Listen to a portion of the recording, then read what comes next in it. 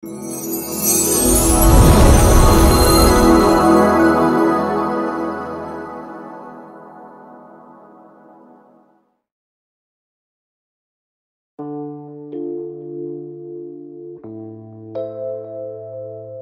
semua, selamat datang kembali di Unix 3M.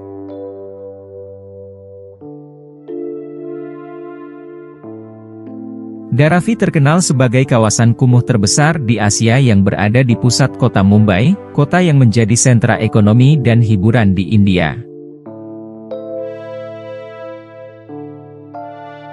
Di tengah kepadatan kota Mumbai yang menempati urutan ke-9 sebagai kota terpadat di dunia dengan jumlah penduduk sekitar 18 juta jiwa, Dharavi menjadi semacam kota kecil, tetapi dengan kondisi lingkungan yang sangat tidak layak.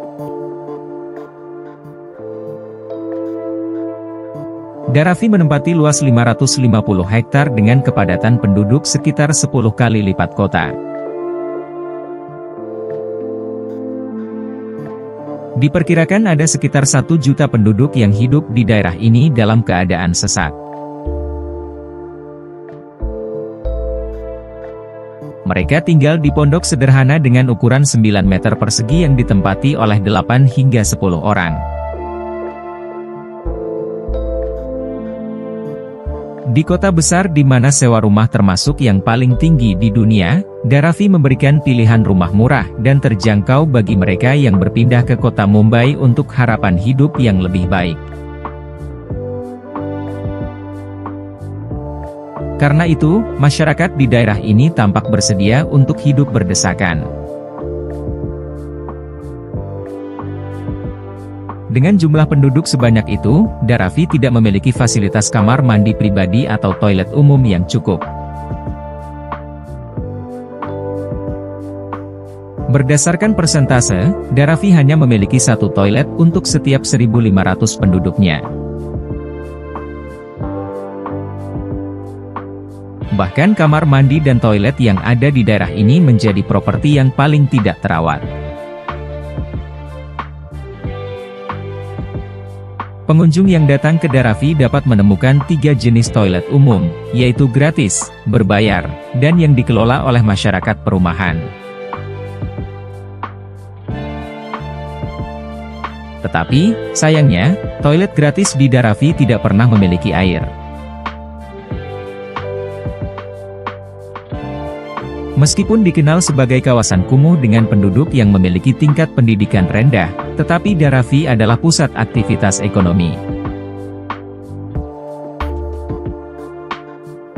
Terdapat sekitar 4.900 unit produksi di Dharavi, mulai dari tekstil, tembikar, restoran, hingga daur ulang sampah, yang menghasilkan pendapatan yang fantastis. Sebagian besar produk ini dibuat di unit manufaktur kecil yang tersebar di daerah kumuh dan dijual di pasar domestik maupun internasional. Selain itu, sekitar 80% sampah plastik di kota Mumbai melewati daerah Dharavi, di mana kemudian sampah-sampah tersebut didaur ulang bersama sejumlah industri perumahan, hingga menyumbang sekitar 1 miliar dolar per tahun untuk ekonomi lokal. Bukan hanya itu, Dharavi juga sering dikunjungi oleh wisatawan untuk berwisata. Beberapa biro perjalanan menyediakan pemandu langsung dari warga lokal untuk berkeliling di kawasan kumuh ini. Tujuan wisata itu sendiri digunakan untuk menghapus anggapan tentang masyarakat Dharavi yang penuh kesengsaraan. Mereka ingin menunjukkan pada dunia bahwa penduduk setempat mampu mencapai mimpinya meski dalam kondisi yang terpuruk. Dharavi memiliki sejarah panjang. Pada abad ke-18, Dharavi merupakan sebuah pulau dengan rawa bakau yang dominan. Sampai akhir abad ke-19, Dharavi adalah kawasan jarang penduduk yang dihuni oleh nelayan koli, dan membuat kawasan ini dijuluki sebagai Desa Koliwada. Pada sekitar tahun 1850, Daravi berkembang semakin pesat sehingga kepadatan penduduk di daerah ini meningkat 10 kali lebih tinggi dari kota London pada masa itu. Seiring dengan perkembangan ekonomi yang meningkat pesat, banyak migran pedesaan yang mencari pekerjaan datang ke kota Mumbai, sehingga populasinya melonjak melewati satu juta tempat tinggal. Pabrik skala kecil tumbuh sembarangan di Daravi tanpa penyediaan sanitasi, saluran air, air minum yang aman, jalan, atau layanan dasar lainnya. Namun demikian, beberapa komunitas etnis, kasta, dan agama yang telah menetap di Daravi waktu itu membantu membangun pemukiman. Daravi membangun sekolah serta kuil, membangun rumah serta pabrik. Pada tahun 1887, masjid pertama di Daravi mulai didirikan. Kemudian, pada tahun 1913, kuil pertama di Daravi juga didirikan. Daravi adalah daerah perkembangan terbesar di Mumbai dan seluruh India, yang mulai tumbuh sejak India merdeka dari penjajahan kolonial pada tahun 1947. Pada saat itu, daerah ini memiliki banyak lahan kosong yang terus digunakan sebagai tempat pembuangan sampah oleh pelaku usaha di seluruh kota. Seiring dengan pertumbuhan Mumbai sebagai kota, Dharavi menjadi daerah yang dikelilingi oleh kota dan menjadi pusat penting untuk ekonomi informal karena letaknya yang strategis. Mengembangkan daerah seluas 550 hektar ini adalah usaha yang sangat menggiurkan dan menarik. Sejak tahun 1997, ada banyak rencana untuk merevitalisasi Daravi seperti bekas daerah kumuh Hong Kong. Pada tahun 2004, biaya revitalisasi daerah kumuh ini diperkirakan mencapai 630 juta dolar, dan pada tahun 2010, Rencana revitalisasi Daravi diperkirakan akan menelan biaya sekitar 1,9 miliar dolar.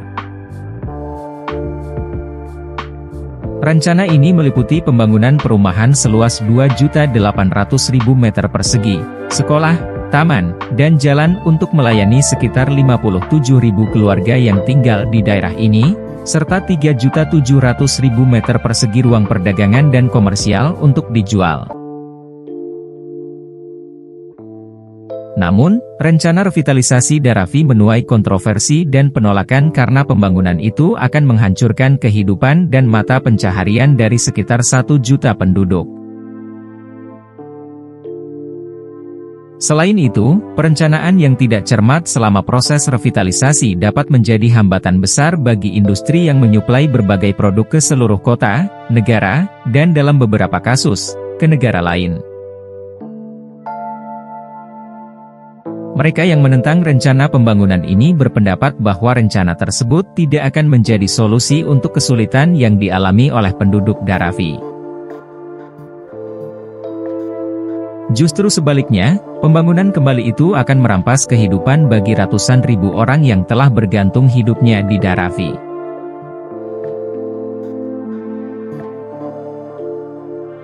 Dengan berbagai permasalahan dan potensi yang dimilikinya, Daravi menjadi sebuah kawasan yang kompleks dan menarik untuk dipahami.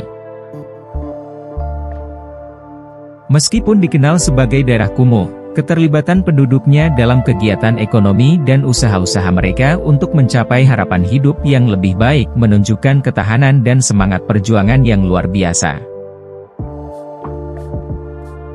Pembangunan kembali Daravi memang menjadi sebuah tantangan yang kompleks, namun perlu dilakukan dengan berhati-hati agar tidak merugikan masyarakat lokal yang telah lama menggantungkan hidup di sana.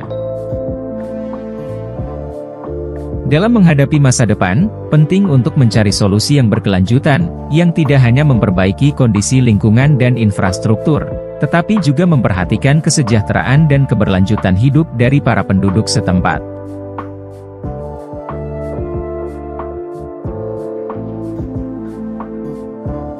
Terima kasih telah menonton, jangan lupa like, komen dan subscribe Unix 3M ya.